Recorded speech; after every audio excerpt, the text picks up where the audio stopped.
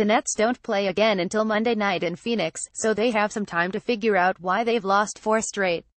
Is it the offense, the loss of rhythm as Kenny Atkinson puts it, or is it the defense, particularly on the perimeter where they've allowed the last four teams they've faced to shoot 43.3%? Maybe it's missing a number of their bigs Trevor Booker, Quincy ACY, Jarrett Allen.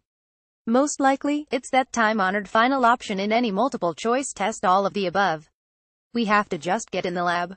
We've got to get our confidence back right going into the next game.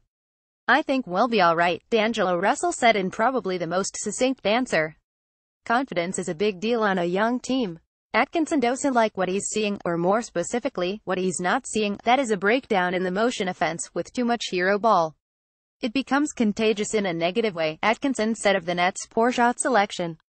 It's collectively we're just not moving the ball like we were in the beginning of the year. We better find the solution to that quick because teams are just too good defensively. We're not an only on one team. That's not how we're built. We're built on ball movement and player movement. We've got to get back to that. The big offenders, notes Greg Logan of Newsday, are Russell and Caris LeVert. They were 10 of 34 from the field against the Lakers, including a 2 of 13 from three-point range, a number of them launched early in the clock.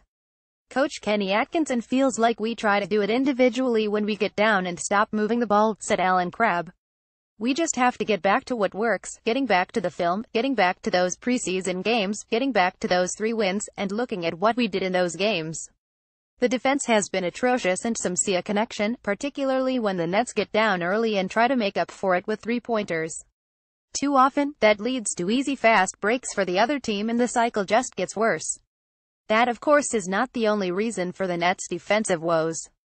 That list is long. In fact, the Nets are now the worst defenders in the NBA. As for the bigs, no word on when Booker, ACY and Allen might be back. The Nets are being cautious. No reason to push things this early. But this early could become late if the Nets don't turn things around fast.